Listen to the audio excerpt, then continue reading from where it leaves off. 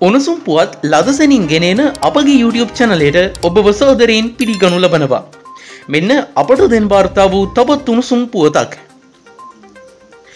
අමරිකාවේ නිවියුක් හිදී තියුණු ආයුධ ප්‍රහාරයකට ලක්වූ බවට සැකකෙරෙන ප්‍රකට ගත් කතුරෙකු වන සල්මන් රුහිඩ්ගේ තත්ත්වය බරපතල බව විදිස් මධ්‍යවාර්තා කලා.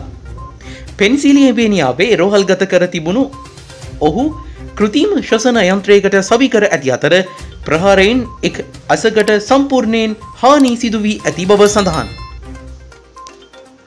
ප්‍රහාරය එල්ල කර පුද්ගලයා අත්තරංගුවට ගෙන ඇති අතර ඔහු විසි හතර හැවිරිදිවයේ පසුවන හදීමානර් නම් පුද්ගලෙක්. මෙවැනි විශේෂ පුවත් ලදසැනි නැසනින් දැනගැනීමට අපගේ YouTube චනලය සබස්ක්‍රයිබ් කොට සීනෝ බොත්තම ක්‍රියාත්මක කරන්න.